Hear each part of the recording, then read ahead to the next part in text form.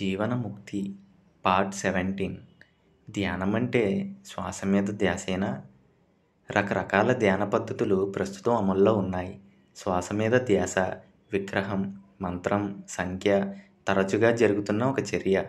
వీటన్నిటిలో దేని మీదైనా మైండ్ని లగ్నం చేయమని చెప్తుంటారు.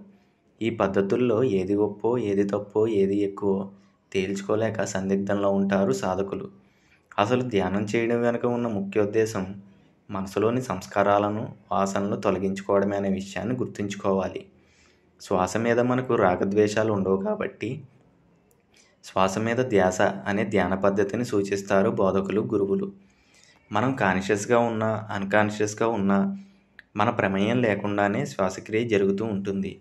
అదే మనకు దేవుడిచ్చిన వరం అదే కనిపించని దైవత్వం. శ్వాసను మాధ్యమంగా తీసుకొని మైండ్ని దాని మీద లగ్నం చేస్తూ మనలో అంతర్ప్రపంచం వైపు వెళ్ళడానికి ప్రయత్నించాలి. కానీ శ్వాస మీద మైండ్ని లగ్నం చేయడంతోనే ధ్యానం అయిపోయింది అనుకుంటే పొరబడినట్టే. మైండ్ ఏకాగ్రత పొంది అంతర్ప్రపంచాన్ని చూసినప్పుడు అక్కడున్న మలినాలను తీయలేకపోతే భావోద్వేగాలు రాగద్వేషాలు సమసిపోవు. కోపం ఉన్నవారికి కోపం ఎక్కువ అవుతుంది రాగం ఉన్నవారికి రాగం ఎక్కువ అవుతుంది మెలకువగా ఉంటారు కానీ సమభావన ఉండదు. దీనివల్ల మెలకు మేలు కన్నా హాని ఎక్కువ. బౌద్ధ ధ్యాన పద్ధతుల్లో శీల సమాధి పణ్య అనే మూడు దశలు ఉంటాయి. శీల నియమాలకు సంబంధించింది. పతంజలి మహర్షి సూచించిన యమ నియమాలు చాలా వరకు శీల నుండే తీసుకోబడ్డాయి. రెండవ దశ అయిన సమాధి అంటే మనసును ఒక విషయం మీద లగ్నం చేయడమే. చివరి దశ అయిన పణ్య అన్నిటికన్నా ముఖ్యమైనది. ఈ దశనే ప్రజ్ఞ అని కూడా అంటారు. మనలో జరిగే సంవేదనలు గమనిస్తూ సమభావన పెంపొందించుకోవడమే ప్రజ్ఞ. జ్ఞానేంద్రియాల వలన ఆలోచనల వలన మనలో సంవేదనలు కలుగుతాయి.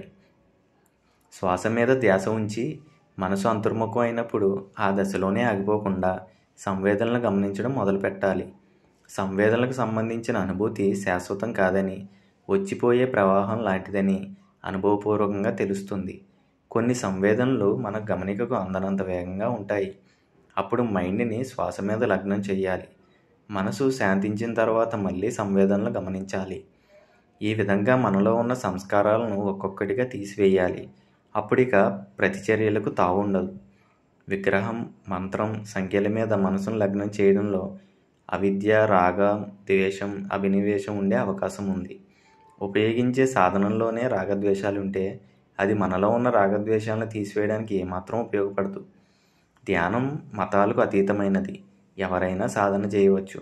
ధ్యానాన్ని శ్వాస మీద ధ్యాస మాత్రమే అనుకొని ఏవో అనుభవాల కోసం మాత్రం సాధన చేయవద్దు. మనలో ఉపయోగించే పరికరాలన్నీ మనలోని సంస్కారాలను తీసివేయడంలో ఒక భాగమేననే విషయాన్ని దృష్టిలో ఉంచుకొని ధ్యానం చేయండి. దేవుడి గురించి తెలుసుకోవడానికి జ్ఞానం దేవుడు అవడానికి ధ్యానం.